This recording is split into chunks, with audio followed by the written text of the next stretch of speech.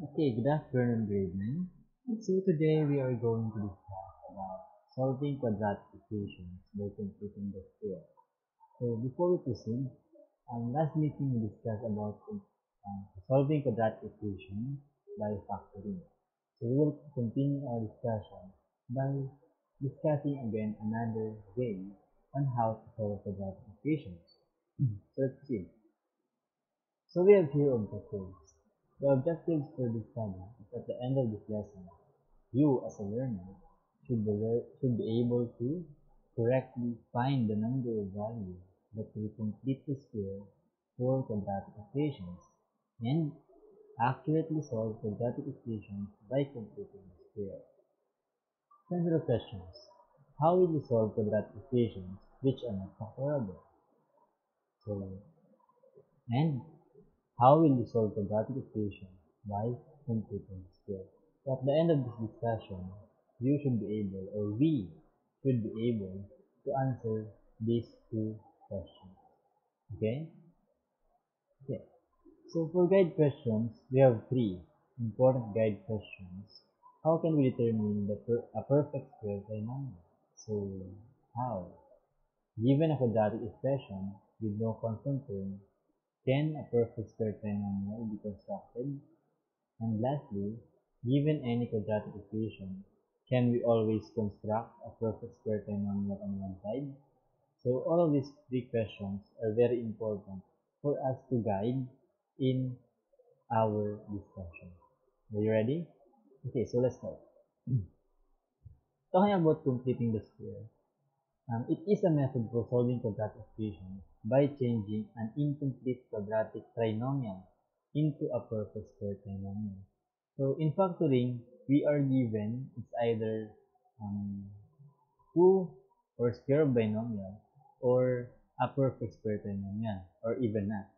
So for example, we have here um, a situation in which given the standard form of quadratic equation ax squared plus bx plus c is equal to 0, in which this is that what we call standard form. The constant t is isolated to the other side of the equation, and the coefficient a is reduced to 1. So, for us to be able to perform this completing the square, you should be able to um, isolate the constant term, which is letter c, and you should be able also to reduce a to 1. So this is the completed square is given by this expression. So we have here x squared plus b over a x plus b over 2a squared is equal to negative c over a plus the quantity b over 2a squared. So that would result into x plus b over 2a squared is equal to negative c over a plus the quantity b over 2a squared. So um, that would be the form or the process of completing the square. But we would be um, more, you will more, but you will understand it more when we have our examples. So let us now proceed with our example. So consider the quadratic equation 2x squared plus 4x minus 6 is equal to 0. So if the constant 6 is isolated to the other side of the equation and the coefficient of x squared, for example 2, is reduced to 1, the quadratic equation can now be written as x plus 1 squared equals 4. So how does that happen?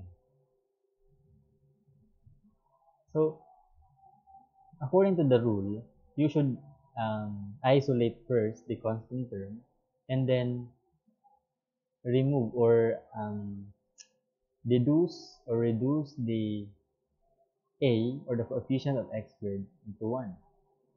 So in that way, reducing the a to 1 and isolating 6, which now positive 6, we will arrive with um, x squared plus 2x plus 1 is equal to 4. So that would be our equation now. So performing the completing the square. So let's try it. Let's try this one. Example number one. Find the number that will complete the square for x squared minus 5x is equal to 0. So what do you think would be the number that when we that can complete or find the number that will complete the square for x squared minus 5x is equal to 0. The thing is we will do the process. So doing the process we have here for the solution the constant is already isolated because the constant is 0 to the right hand side of the equation and the coefficient of x squared is already 1. To get the number that will complete the square, get the half of the coefficient of the middle term and square it. In our example, the coefficient of the middle term is negative 5. Therefore, we will get negative 5, half it, or divide it by 2, then you need to square it. So the answer is 25 over 4 and therefore the number that will complete the square is 25 over 4.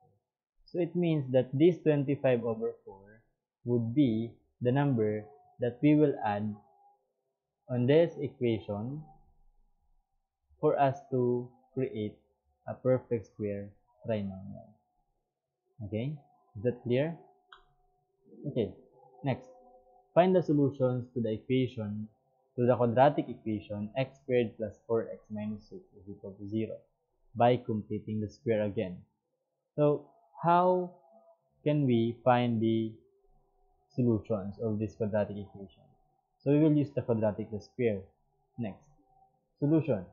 To find the solutions to the given quadratic equation by completing the square, we need to follow the steps below. For number 1, since the coefficient of x squared is already 1, Okay, so we don't need to reduce the coefficient of x squared into 1. We can now proceed to isolating the constant to the other side of the equation. So to isolate that, or in other term, that is what we call APE or the addition property of equality. But most of the time, we use that as transpose. So ililipat natin yung negative 6. So x squared plus 4x is equal to positive 6. So the, since there is a transfer from one side to another or um, one side of the equal sign to the other side, the change the sign will change. So there is a change of sign. So we can now perform the completing the square. So how do we do that? Again, we will get the middle term which is 4. So divide it by 2 and square it. So 4 divided by 2, that is 2 squared is 4. Then since you add 4 on the left side, you need to add 4 also on the right side. Okay, that's good. So x squared plus 4x plus 4 is equal to 10. And express the left hand side as a square of binomial. So we can now express this as a square of binomial. So the quantity x plus 2 squared is equal to 10. So this is now your equation of the quadratic. So this is now your equation. So now, we're not done yet. We need now to extract the square roots since we are looking for the value of x.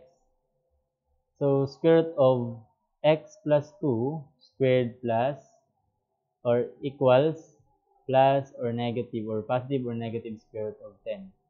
Then we can cancel this out. Cancel 2 and cancel the, uh, you can cancel out now the 2 and square root.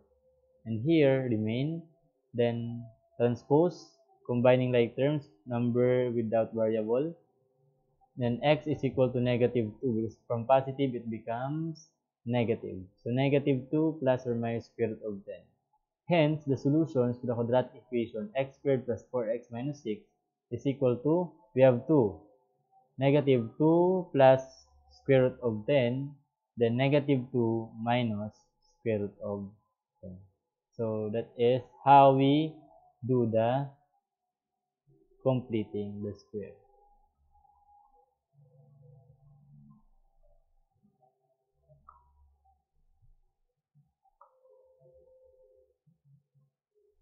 Okay? So let us proceed. So we have here a another practice and let's try to solve it. What number must be added to complete the square in the equation x squared plus 7x equals 7? So let's try to solve.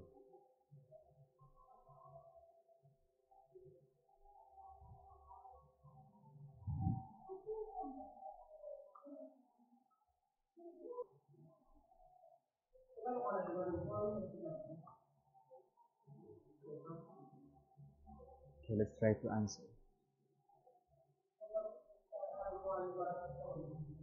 So we have here x squared plus 7x is equal to 0. So since the equation is already in standard form and the value of a is already 1 and the constant is already isolated, we will now find the number that we will add. So to do that, we need to get the middle term. The middle term is 7. So divided by 2, then we need to square it. So that will be equal to 49 over 4. So the original the equation now would be x squared plus 7x plus 49 over 4 is equal to 49